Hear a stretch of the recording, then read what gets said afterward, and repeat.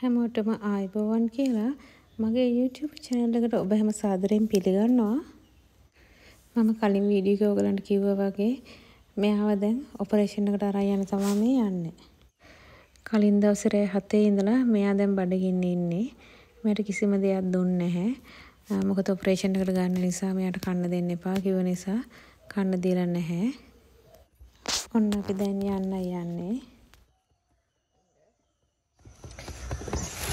Hospital යන්න. Hospital යන්න. Hospital යන්න.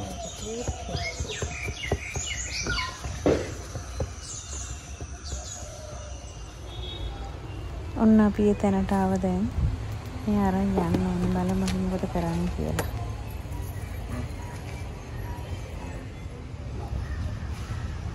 ඇයි? හ්ම්? මෙයා එක්සයිට් වෙලා ඉන්නේ. මෙයාව ඇවිත් දාන්න කිව්වා.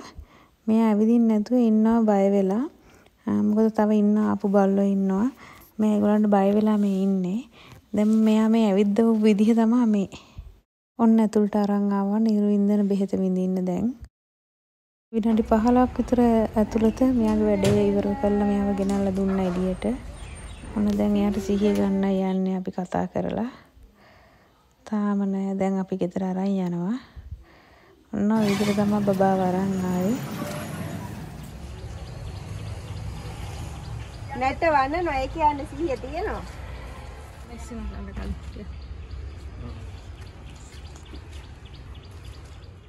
ඔන්න අපි දැන් ගෙදරට ආව එකගෙන මේ කළු පාට එක්කන සෑහෙන දවසකින් ආවේ නෑ.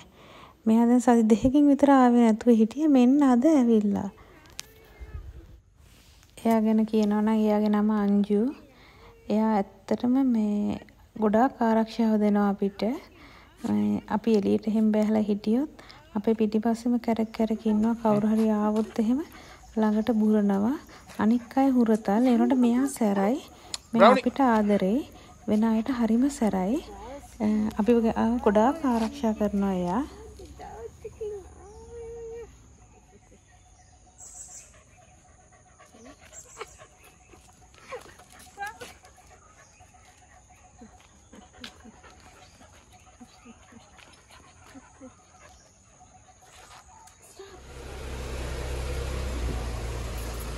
ඒගොල්ලන් හුරසල් කිරිල්ල පැත්තකින් තියලා දැන් මම යනවා ලෙඩා බලන්න. ලෙඩාගේ තත්ත්වය කොහොමද කියලා බලන්න. ආ දැන් නම් එයාට සිහිය ඇවිල්ලා තියෙන්නේ.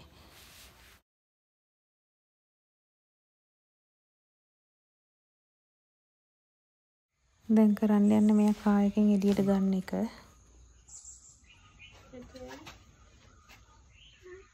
සිහිය ආවට තාම එයාට ඇඟට පණ නැහැ නැගිටලා ඉන්න. Stop leaking me.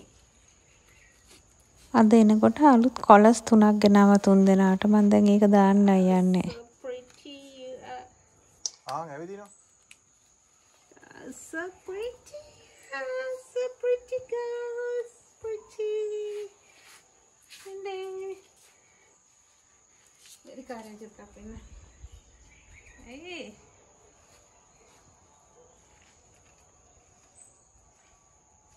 me. Wow, so pretty girls.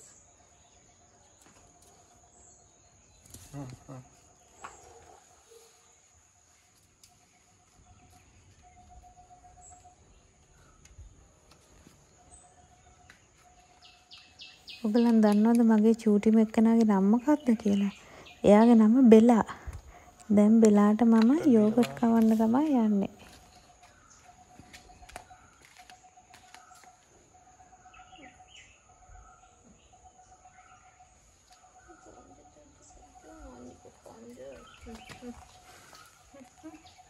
Bella. Bella.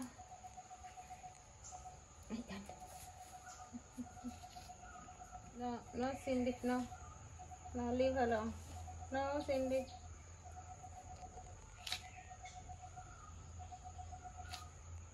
Cindy, no, no, no, no, leave her alone.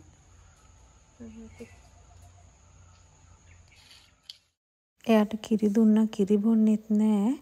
මම දැන් යෝගට් ටිකක් කටේ ගෑවා. ඒ රසටවත් කයිද බලන්න.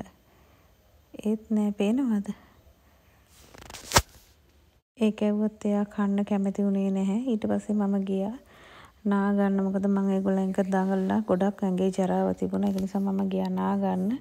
නාගෙන මම ආවා පොඩි ස්නැක් එකක් හදන්න. මම අරන් තියනවා මේකට චිකන් ග්‍රෑම් 250 බ්‍රෙස්ට් එක හොඳට චොප් කරලා අරන් තියනවා. ඊළඟට කහක් ගම්මිරිස් ලුණු කුඩු තම්බගත්ත අල්ල ග්‍රෑම් 250ක් පොඩි කරලා අරන් තියෙනවා. ඊළඟට පිටි ග්‍රෑම් 300ක් අරන් තියෙනවා පූර්ණ තෙනක පිටි සාමාන්‍ය පිටි. ඊළඟට කරපිංචා අමු මිරිස් කරලා මධ්‍ය ප්‍රමාණයේ ලුණු ගෙඩ දාක් හොඳට චොප් කරලා අරන් තියෙනවා. තෙල් ටිකක් ලිපේ තියලා මුලින්ම ලුණු ටික තෙම්පරාදු කරගන්න ඕනේ. මම මේකට සුදු ලුණු එකතු කරේ නෑ. මේක මම හදන්නේ මගේ දුවට කන්න. එයා ආස නැති නිසා මම සුදු ලුණු දැම්මේ නැහැ. ඔයගොල්ලන් කැමති නම් මේකට සුදු ලුණු ඉඟුරු ටිකක් එකතු කරගන්න පුළුවන්. ලුණු ටික ෆ්‍රයි වෙනකොට ඒකට ලුණු ටිකක් එකතු කරගන්න. ඊළඟට මම ගම්මිරිස් ටිකකුත් එකතු කරගත්තා, කහත් එකතු කරගත්තා. ඊට පස්සේ ටිකක් බැදෙන්න අරින්න. ලුණු ටික බැදෙන අතරේ මම කවුන්ටර් টොප් එක පොඩ්ඩක් ක්ලීන් කරගත්තා. මොකද මට පිටි ටික අනා ගන්න ඕනේ කවුන්ටර් টොප් එක උඩ නිසා. ඉස්සෙල්ලා සබන් දාලා හොඳට අතුල්ලගෙන ඉවරලා ඊට පස්සේ දෙපාරක් මම ෆයිබර් රෙදි කෑල්ලෙන් පිහද ගත්තා. උණු ටික නම් දැන් හොඳට බ්‍රවුන් වෙලා තියෙන්නේ. මම ඒක ලිපෙන් බා ගන්නවා. නැවතත් මම සෝස් පෑන් එක ලිපේ තියලා මම තෙල් ටිකක් එකතු කරගෙන චිකන් ටික දැන් බ්‍රවුන් කරගන්නයි යන්නේ. චිකන් හොඳට චොප් කරලා තියෙන නිසා තෙලට දාපුවාම එකට ගුලිය වගේ ඇලෙන්න බලනවා. හැන්දෙන් කෑලි වෙන වෙනම වෙන් කර ගන්න ඕනේ.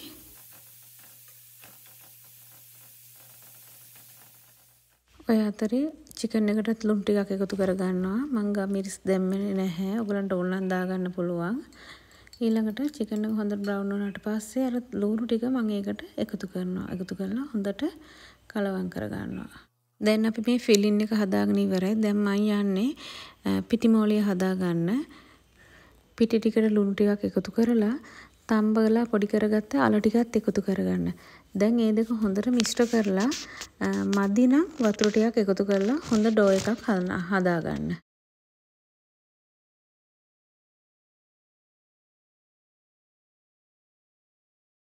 දැන් මම යන්නේ ඩෝ එක තුනී කරගෙන තමන්ට අවශ්‍ය ප්‍රමාණයේ සයිස් එකට රවුම් කපා ගන්න. මම විශ්කම්බේ අඟල් දෙකක් විතර තියෙන රවුමක් තමයි මම කපා ගත්තේ.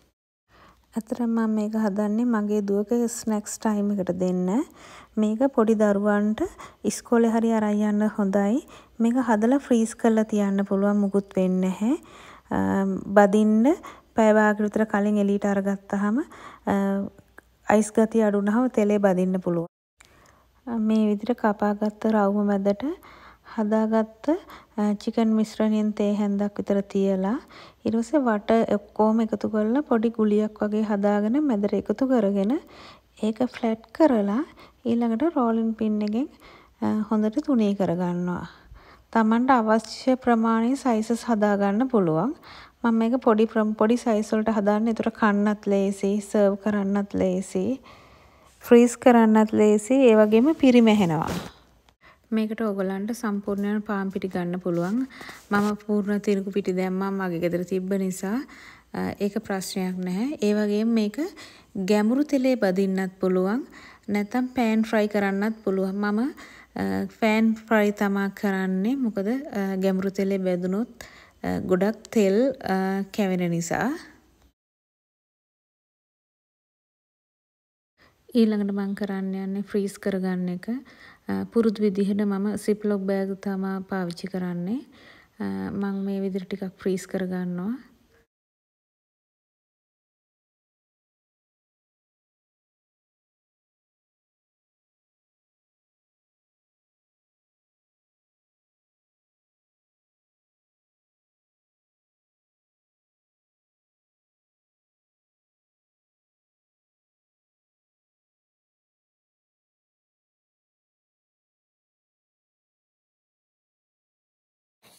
මේ පැටිස් පහම බදින්න මම පෑන් එකට දාගත්තේ තෙල් මේසැනි දෙකක් විතරයි. මේක හරිම රසයි. මේක ගැඹුරු තෙලේ බැද්දොත් ඇත්තටම ගොඩාක් රසයි.